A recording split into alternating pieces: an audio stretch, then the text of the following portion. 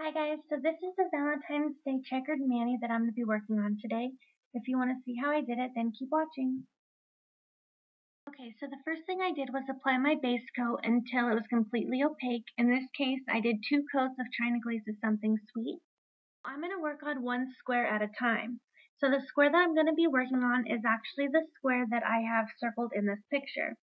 So what I'm going to do is I'm going to take a piece of scotch tape I'm going to rub it on my hand to get the stickiness off of the tape so that it doesn't peel off the um, polish underneath. And then I'm going to tape off my entire nail except I'm going to leave that one square open that we're going to paint with the second color.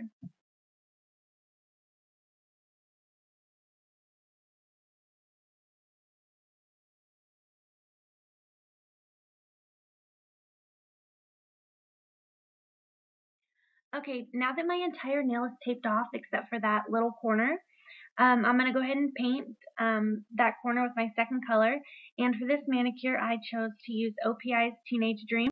And once that square is painted, then I just removed um, the tape from my nail. And you kind of want to do it fast, otherwise if the polish dries, um, when it comes time to rip off, off the tape, you're going to accidentally pull off the paint as well. And once you pull the tape off, then you want to apply your fast dry top coat. And then you want to wait 10 minutes until you start applying the tape for your second square. Um, then I went ahead and worked on my second square. And you want to do the same thing as you did with the first one. You want to tape off your entire fingernail except for that small square that you're going to paint with your second color.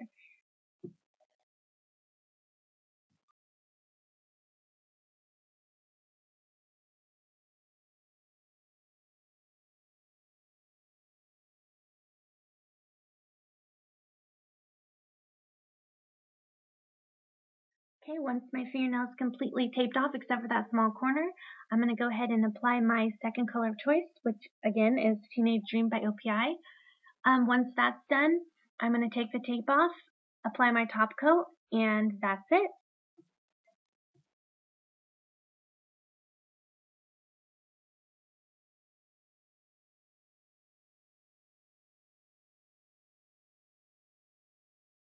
Alright, that's it. I hope you guys enjoyed this Valentine's Day inspired checkered mani. Um, if you don't have a Valentine's Day, don't celebrate Valentine's Day, um, you can always do this manicure with different colors.